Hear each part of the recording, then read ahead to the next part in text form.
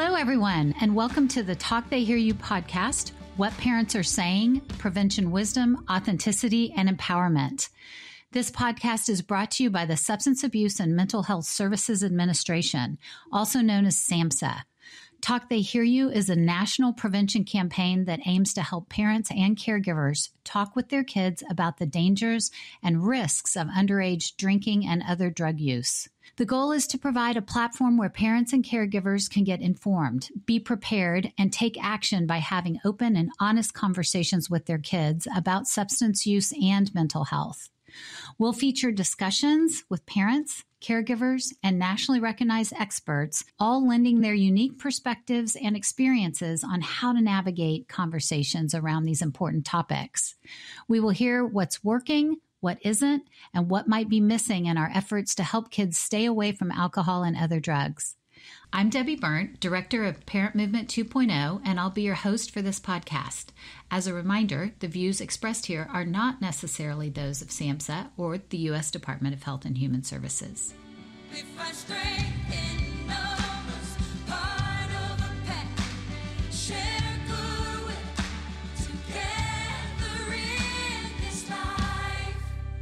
In this episode, we're focused on parenting through the holidays and the many opportunities available during this time to have these conversations. We're honored to welcome three moms. Joby is joining us from Iowa, Teresa from Northern California, and Allie from Connecticut. Thank you all for talking with us today. And if we can start by your telling us a little bit about your families, number of kids, ages, that kind of thing. Allie, if you want to start. Sure. Hi, Debbie. I have two children. We live in Connecticut and they are currently in seventh grade and she's nearly 13, so getting into the teenage years. And then I have a fifth grader who is 10. So I have three grown boys. I have a 27 year old, a 24 year old, and a 21 year old. I also have two mini Australian Shepherds who round out our family and keep me busy with three uh, grown children. I also have three children, two adult children, 25 and 23, and then an 18 year old that's still home with us. I should also share I have three kids as well. I have a 26 year old, a 22 year old, and a 17 year old who's a senior in high school right now. So we just had Thanksgiving, which was mm-hmm. our first big holiday of this season.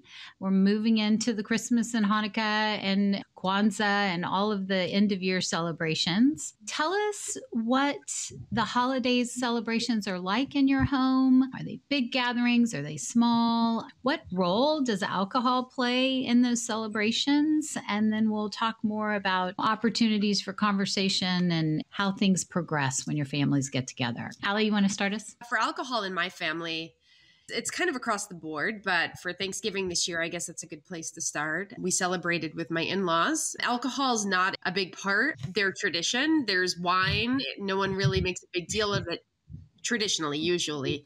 This year was a little different. I have a niece who is in eighth grade, and she's very alcohol focused which is mm-hmm. fascinating. So she she made a big deal about the wine being there and it brought up a lot of mm-hmm. conversation. My own kids, we had to do a lot of processing about that because her parents choose to let her taste it at the holidays. We don't do that. So there was there was a lot of talk, which is interesting because usually that's not the case in that side of the family that maybe someone has a glass of wine, but that's about it. And so we talked quite a bit about kids and drinking and is it okay to taste is it not? And the rules because it's different for every family. That's amazing. We were supposed to be covering are there opportunities to talk about substance use with our kids that mm-hmm. was an amazingly built-in opportunity you're making me think too that i should just say this is a conversation not about adults drinking alcohol. Mm-hmm. If there's alcohol at the holiday celebrations, we're not worried about that necessarily. So we don't want people listening to think, ooh, if there's alcohol there, that's, you know, bad. But just wanted to get that on the table. Adults and children have two different codes of behavior when it comes to substances for very specific reasons. So we're really focused on under 21.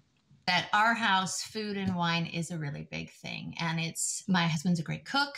And the Thanksgiving specifically, we're cooking all day long. And it's mm-hmm. not just my family, it's my entire large family. And so I think the great thing about the holidays is it's it's coming. It's an event that's happening and that the whole family is going to be there. It was an opportunity for a conversation on our house and what will our plan be going away for a week, staying with family for our still under 21 year old and kind of what I want and what my husband wants and being on the same page and then sharing it with our adult kids who are of age saying, "Hey, we know that you might feel differently and that maybe our rules are too strict, but these are our rules. And this is how we see, and we'd like you to support us through Thanksgiving. And it went pretty well. pretty well.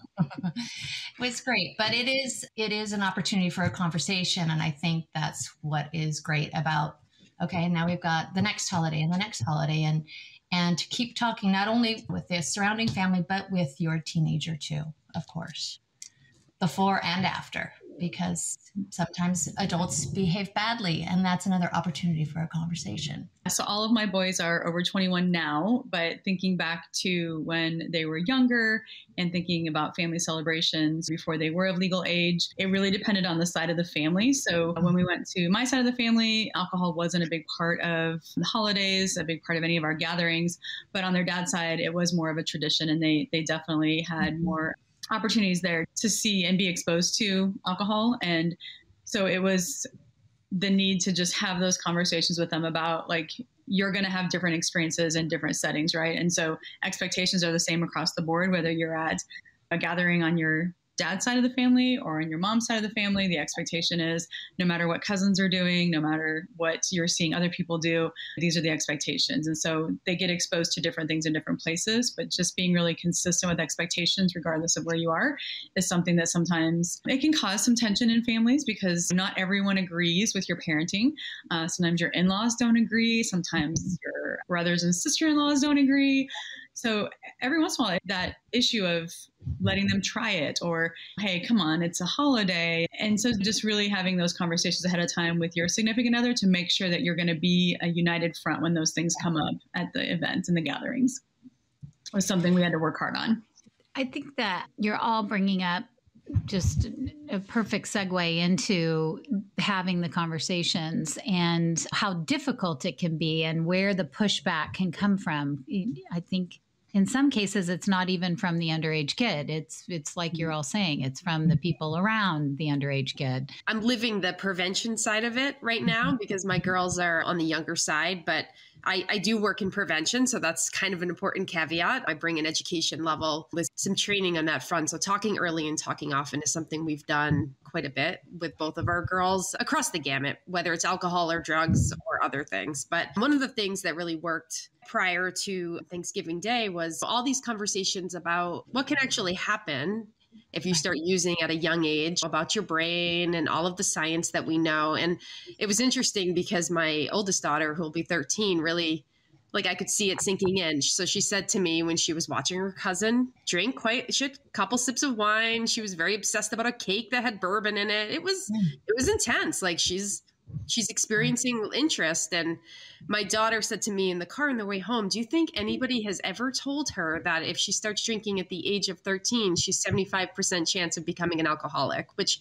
like that's statistics that i throw out there right? Because they're at my they're at my ready and i get that. But i think that's you know knowing the statistics about things and sharing them with the kids it really it stuck with her. So she she clearly has an association with that and now she's worried about her cousin so we had all those talks about everybody has different ways of looking at things and everybody's different family rules and we're going to stick with ours and this is why but it can be tricky luckily yeah.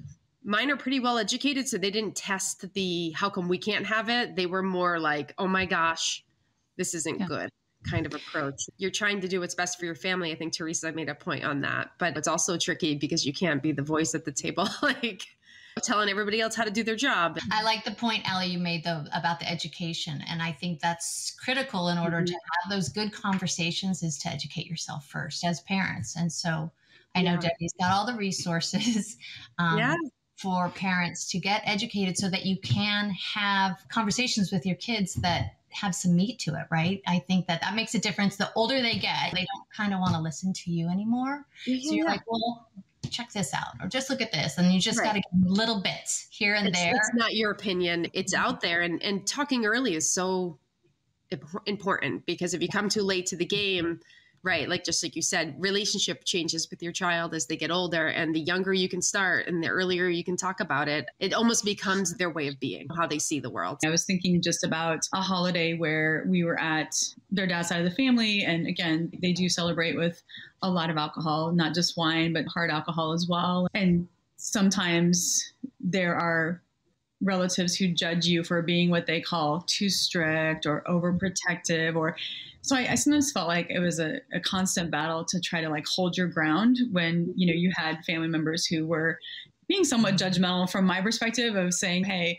don't be so uptight. And there was a mindset of like hey if you let them drink here when they're supervised they're going to be less likely to do it on their own. And i disagreed with that. So sometimes it felt like honestly just prepping for those conversations and sort of prepping yourself to go in and be consistent and then putting the boy's dad in a bad spot because he's got pressure from his brothers and other folks to lighten up a little bit and to not be so strict on a holiday or do it when they're supervised. But all of those perspectives are, you know, it's that's their perspective. And for them, for their family, they thought that was going to work. Like letting their kids drink younger, if they were supervised, would keep them from wanting to sneak around and do it. So there was just that very divisive mindset of our belief system and then other belief systems. That's great. I think one of the, I don't know if it's foundations that this podcast wants to recognize is that parenting is so hard in so many ways. And the number of topics that parents are keeping track of or watching is just massive in modern time. It's everything from internet gambling and eating disorders and from these very extreme failure to thrive kinds of topics that we're all aware of to lighter weight. They need to have sunscreen on and a hat when they go out the mm-hmm. door. I mean, it's just this plethora is mm-hmm. massive. And alcohol and drugs is one of those topics, and it falls up and down in priority for parents all the time. And I think rationally so, because there's so much that we're watching. But we're hoping that we can with this podcast, with the Talk They Hear You material, with just supporting parents, we can help them keep that drug and alcohol conversation a little bit more primary, a little bit more front and center. But it doesn't mean it's going to be easy. And we're going to hit all of those resistances from all kinds of places the media, family, etc. And how do you navigate that? I like this idea of education and getting informed. Mm-hmm. And we all have these instincts that this is not good or this is not right. And is there anything that backs that up? And I think we all know here that the science very clearly says experimentation when young doesn't work. So I get parents' intuitive move towards that because it seems like it would.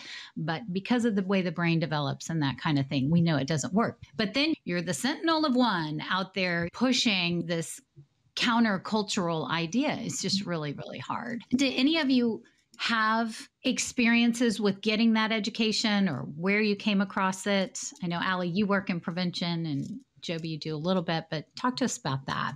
So many communities now are starting to talk about these things a little bit more than before. And so mm-hmm. finding out what is who are the agencies, I don't know if it's your schools or really having these conversations or offering workshops, podcasts as as we see here, but I mm-hmm. love podcasts. I follow a lot of podcasts on different topics that are of interest to me and some of them are parenting related and so just trying to arm yourself with knowledge in that way. And then I believe strongly as a mom in surrounding myself with friends who share the same, I guess, messages uh, as I do, or as my husband and I do.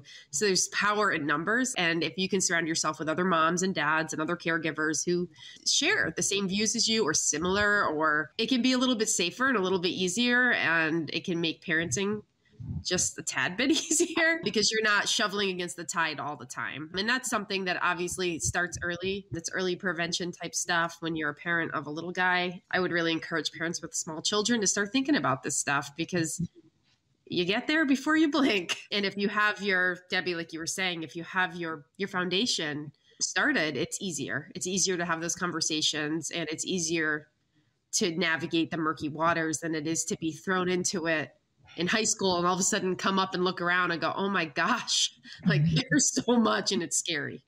I, I think, too, the great thing about surrounding yourself in junior high or even younger, starting younger, with other people with same values, same wishes to raise their kids um, regarding drugs and alcohol is is great to start but what you're going to notice as you go through high school as that group gets smaller and smaller because just mm-hmm. as the teens have their peer pressure to go with the flow i have noticed that the parents do too. And it just seems like being popular and having lots of friends and doing what the cool kids are doing which is a sad but still a thing happens to the adults too. And so that takes you back to that relationship you have with your kid because we have to even share with them it's like okay well I know that this family who we felt was on the same page has different attitudes towards it now. So, where are we and what do we think and how are we going to deal with this and how are we still going to be friends with these people? How does it work and what does it look like? And it's just, I think my challenge is to not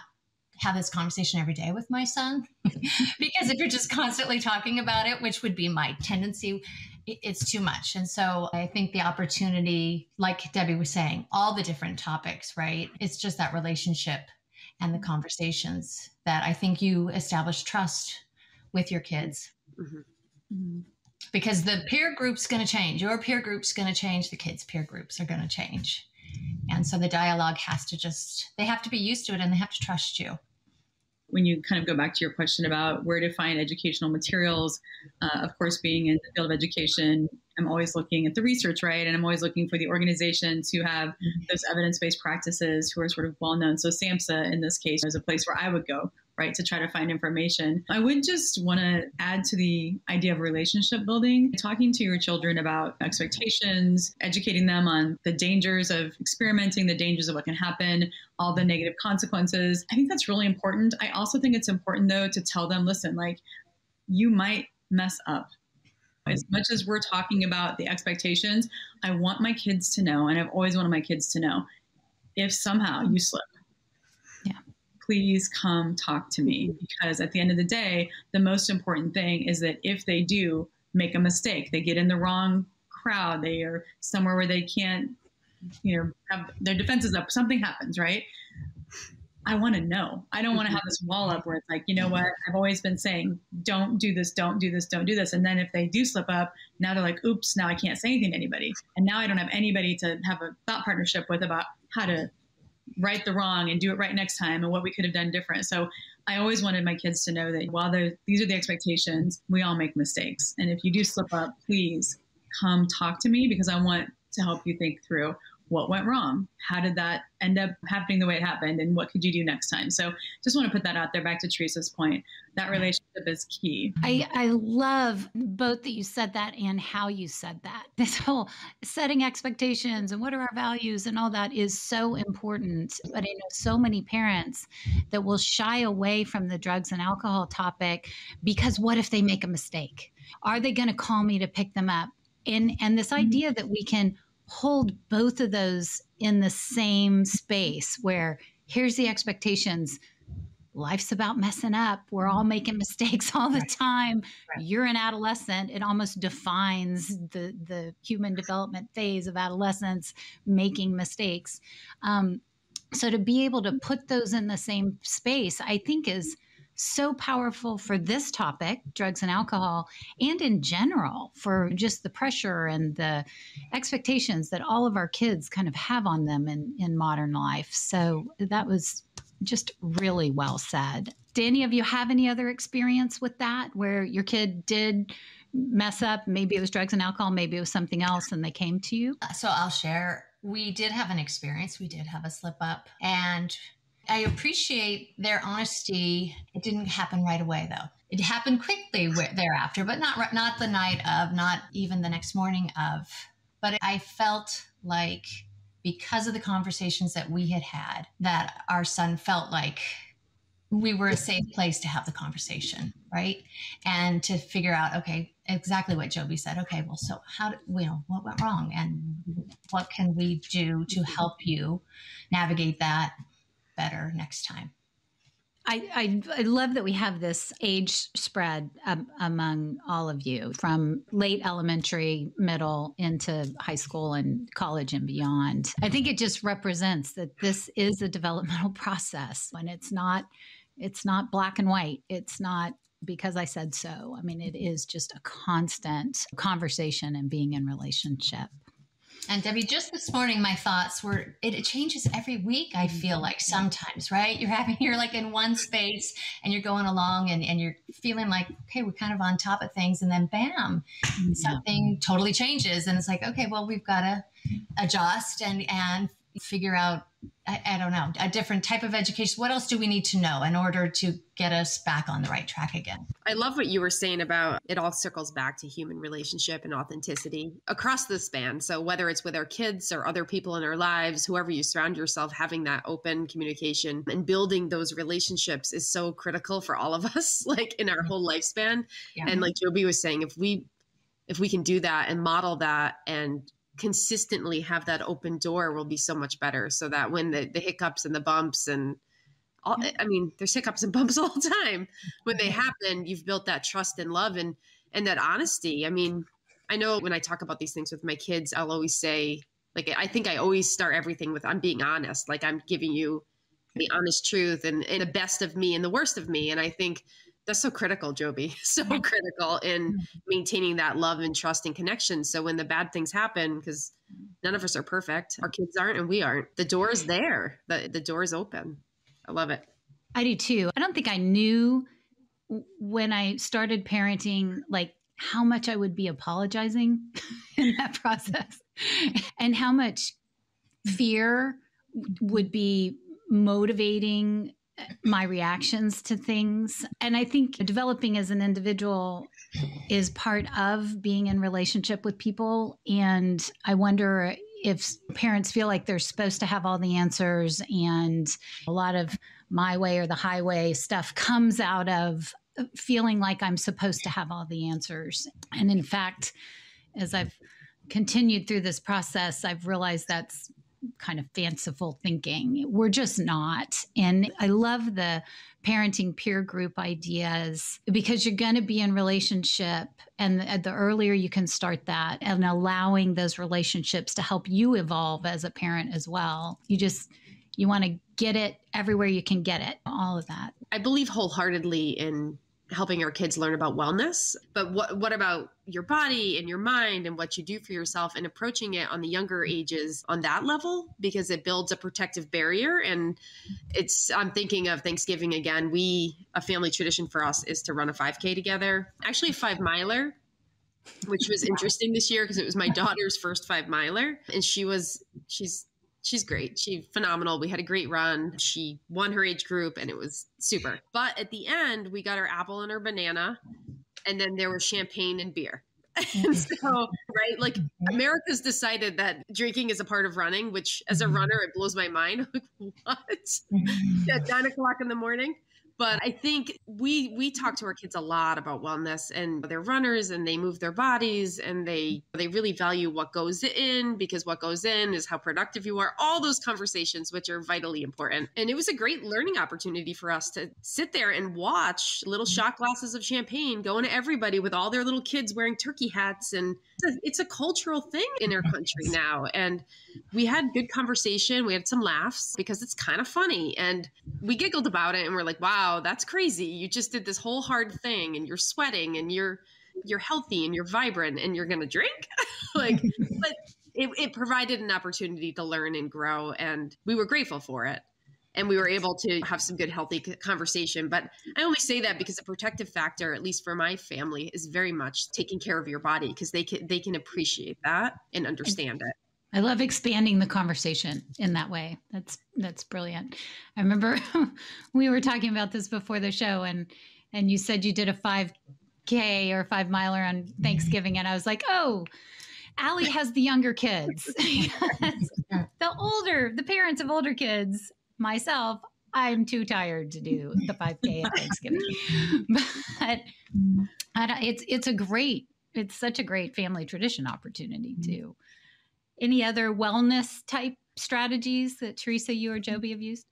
Well, I think encouraging your kids to find whatever more tools they have uh, they can use when they're stressed, when they're tired, when they want to celebrate. What are other things you can do besides turning to alcohol? And so we talk about that here. I had two ath- my two older kids. Well, they're all actually all three are athletes, which is a great thing. And they t- when you're dedicated to whatever that sport might be or whatever else your passion is. I think, especially in high school, if you take those things seriously, mm-hmm. well, then how does drinking be part of the equation? And so that's something that we talked a lot about here. But then we, I don't know, we do a lot of bubble baths here. It's going to kill me for saying that. you know, do you need to go take a, shower and turn the music on really loud? Just other mm-hmm. things to do when things are kind of crazy and and you're needing something. It's not as much about a wellness strategy as it is about just helping your children build a toolkit of strategies, right. coping mechanisms, ways to handle situations that get sticky or tricky for them. So, kind of to that point um, about just like, what do you do? For example, if you end up somewhere, like this is one of the big thing with my boys is there's such a difference between how I grew up and how my kids grew up in terms of like I grew up in small town Iowa, and to be honest, it wasn't a big thing. Like drinking underage was just not a thing. I had such a different experience. I wasn't exposed to it at every turn. It wasn't on every commercial. It wasn't part of every Thanksgiving run. It's just mm-hmm. nowadays you can't have mm-hmm. a country music video without them talking about drinking in it. So it's everything is about, like you said, alcohol. So I didn't have that experience. So as a parent, I have to sort of get out of my own experience and think about what their experience is. Yeah and knowing that they are going to be exposed at every turn almost of everything that they're doing to an option and an opportunity right? And so as i started to know and understand that i would make sure that i always knew like where they were going and who they were going to be with. And i was the parent who's like you're going to so and so's house. I want to talk to one of the parents I know my kids hated me for that. They were embarrassed for that. They're like, please don't call their mom, like to check to see if we're actually going to be home. I said, you know what? That's just the way it is. If you want to go there, I'm calling. And you know what? That did cause some tension between us. But now I always tell them when you're a parent, you'll understand and appreciate it. Right now, you can't because you're not a parent. So you can't possibly walk in my shoes, right? Mm-hmm. But I always wanted to have them feel like their out could always be my mom is always checking on me. Like and their friends knew that. Their friends knew. I was the mom that had called their mom. So if you're inviting my child to a party and no one's going to be there i guarantee i'm going to find out because i am. So don't they don't even invite them right? They're not going to get invited because they know i'm the parent that's going to spoil the party for example. But one time i did drop my son off and when i was dropping him off i just felt like something was not right. Like there weren't cars there. I don't know. You know how you just get this feeling as a parent where you're like, something is not right. I drove away and I get down the street. and I'm like, you know what? I'm going to go back and check in. So I go back and I call him. So he has a cell phone at the time. He's you know in middle school, and he's. I said, hey, when I drove away, something just did not feel right, and I was like, are you sure that the parents are there and that this is like a really like an upfront like on board thing? He's like, mom. He's like, there is nobody. Like there there aren't any parents here. Mm-hmm. Okay. So you just tell them I called and I need you to come home. We had something that changed in our plans and I need you. I'm not going to be able to, to let you spend the night. So again, I don't know if he was going to call me. I'm not sure what he would have done. But then on the way home, I just said, in the future, if ever you get somewhere and they've said, yes, we're going to be home. And here's the thing that mom told me they were going to be there. Yeah. So I don't know if it changed last minute for them. But again, you just always have to keep your guard up. And so I know this is a little bit of a long story, but arming them with an out. So when you get somewhere and you've done all your homework, I've done my homework as a parent, and it's just not that way, and you end up in a bad situation. What is your out? Mm-hmm. Your out is text me and say, please call me, and I will call you and I will say, I need you to come home. And then that's your out. My mom just called. I need to go home. I'm not sure what's going on. So that was our out. Like, just text me if you ever end up in a spot where it changes from what we thought it was going to be.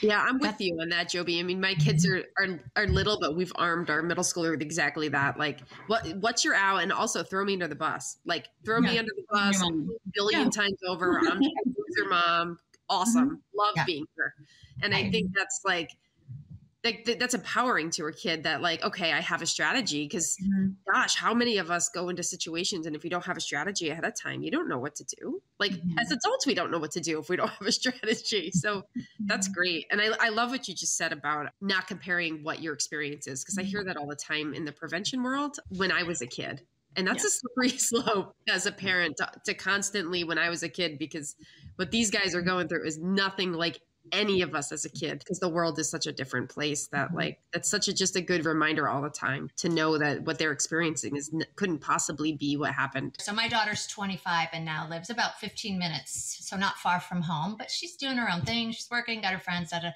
she still uses me as an excuse when she needs a break. She will still tell her friends you know whatever she'll throw me under the bus which is fine. I love that. I'm good with that just to take a break. I need a break, and my friends have got making big plans, and I just want to sit on the couch, mom. So can I just tell them that you need me at home and break, and my, I have to go home. My mom needs me. Totally fine. you both mentioned it, and I can't. I just want to agree with both of you. I have had my kids use it more than once. It is a great tool for them.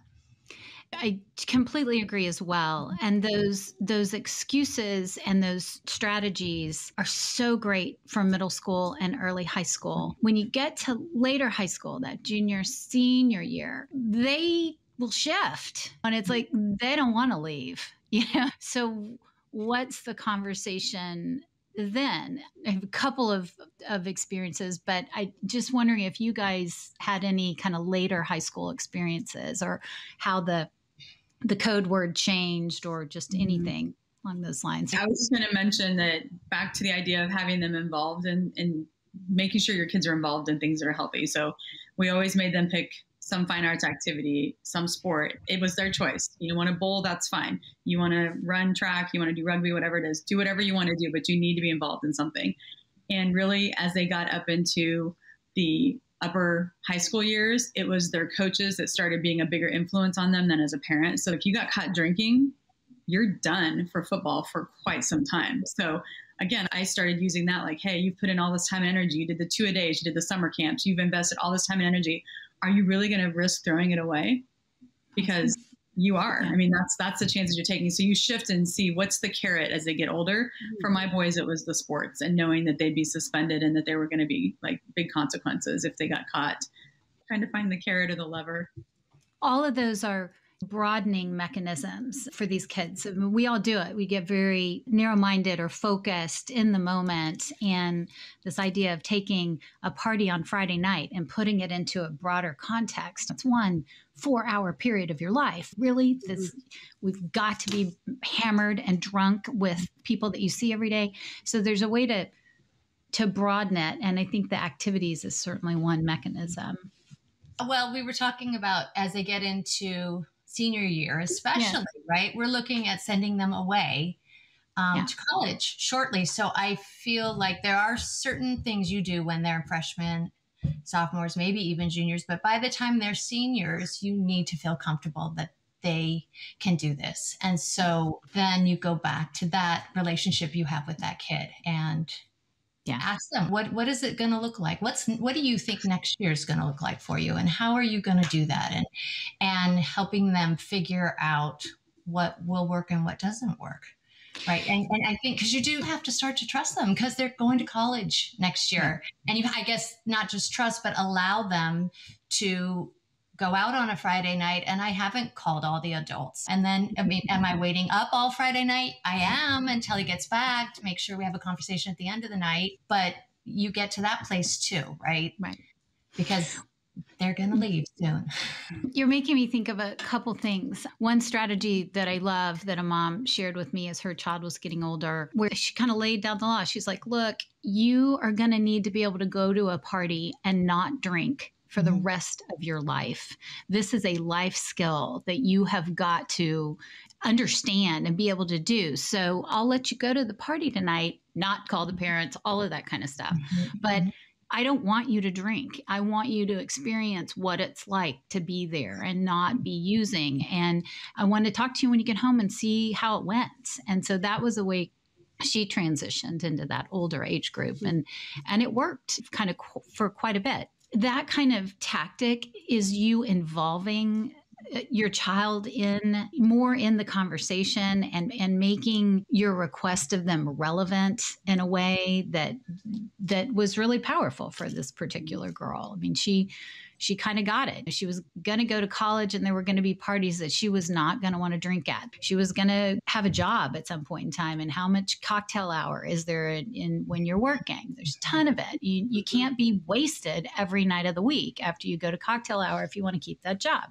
So it broadened the conversation and it was a tactic that really worked for her. The other thing we haven't touched on specifically or hasn't come up organically. So I want to just put it out there. There's this idea of addiction being being hereditary, mm-hmm. and that kids that drink young are at about a 50% greater chance of becoming alcoholics or addicted to substances themselves versus their non their peers that don't have family history. And I'm wondering if it's not too personal, do any of you have family history? Have you used that history in your parenting with your kids? And and what has that how's that gone? What has that been like? Yeah, I can speak to that a little bit. So, without giving too much information that's personal for people, sure. but I have a nephew who's currently he's 19 and struggling with addiction in a big big way, involving all the bad things that we hear about with kids mm-hmm. who have those challenges, but his story is an important part of what I'm, you know, doing with my own daughters because they've had a lot of loss with him in their life because he's not around and he doesn't come to things and why and there's a there's a lot of big conversations and this goes back to that honesty. I'm super honest with them about it. Sometimes not always to the appreciation of other family members who don't love that. My kids know a lot about it, but to me, it was very important that they know what was happening. They know all of the side effects, and it's been a big tool. Um, I'm hopeful every day that he, you know, comes around and has a positive outlook in life. But I, I want to be able to thank him and say you've been influential to my kids because he very much is. They love him very dearly and they're very concerned for him, but they also they don't want to replicate what he's done. So for them, mm-hmm. like they can see the cause and effect, like it's black and white for them. And right. genetically, is it in their family? No, the very strong addiction side of his family is not genetically related to them. But they, they see what addiction does and how and how it can change a life in high school so mm-hmm. drastically so quickly it's tough when you say something so negative as a positive but for us that's a silver lining because he's been a story for them of someone they love that they've watched and i think mm-hmm. sharing that with your kids is important because you could hide it and you could shame it like people tend to do with mm-hmm. addiction there's nothing shameful about it and we talk openly about mental health and substance abuse disorder and how it happens to the best of the best and good people it happens to all the time mm-hmm. and one of our goals as parents is to help it not happen to them thank you for sharing that I appreciate yeah. it yeah, and I was going to share as well just that substance use disorder runs in both sides of my children's family. So on their dad's side, on my side.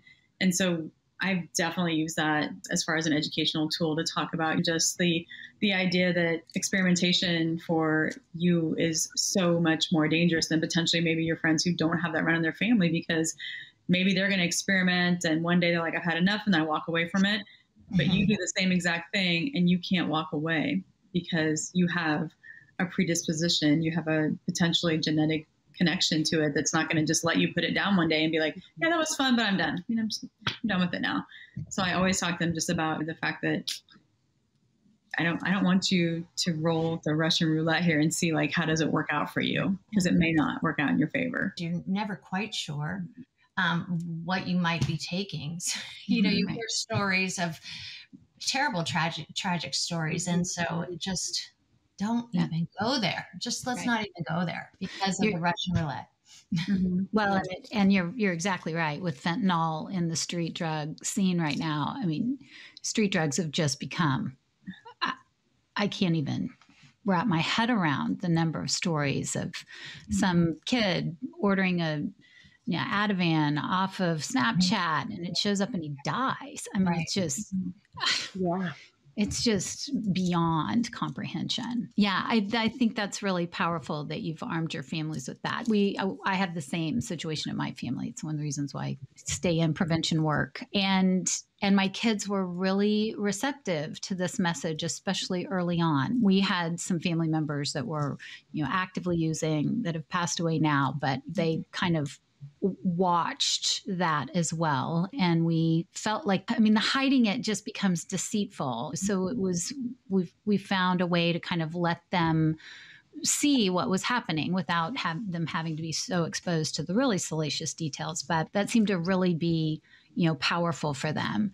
Even still though when they got to that 11th and 12th grade year mm-hmm. where all of that independence and pulling away and separating from mom and dad starts to happen they would get really frustrated by that. And as a parent i had to there were moments where I just was like, "Oh my god, just have a drink and let's get over get it over with" because it's just such a fight. But I had to really parent through that and stand with my convictions about them not using.